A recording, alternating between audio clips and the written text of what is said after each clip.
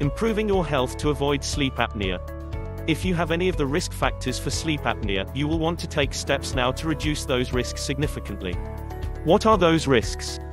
If you are overweight, have a large-sized neck or you have enlarged tonsils or a small airway, you are at risk. People that are older than 65 often get this condition and men are more likely to experience it than women are. In addition, those that have heart disease, neurological conditions or other health issues of a serious nature may also have complications from those conditions that can be sleep apnea. So, if this is you, what should you do? Don't smoke. Smoking is one of the worst things that you can do for yourself if you do in fact find out that you have sleep apnea.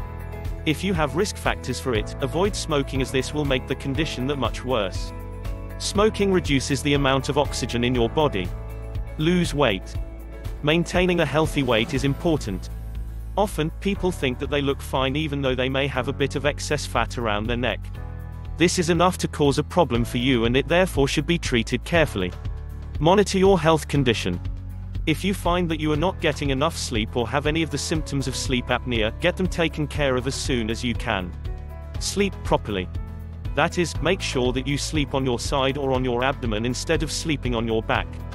When you sleep on your back you are more likely to find yourself with additional problems. Although this may be a problem to learn, it will benefit you greatly. Use a saline nasal spray before sleeping.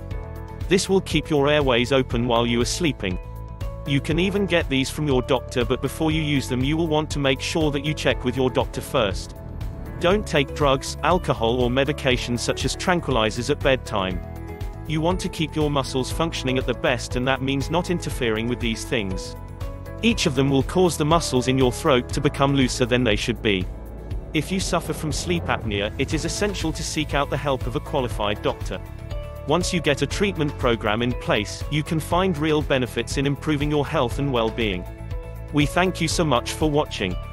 If you've liked the video give it a thumb up, don't forget to share with your friends and subscribe to our channel.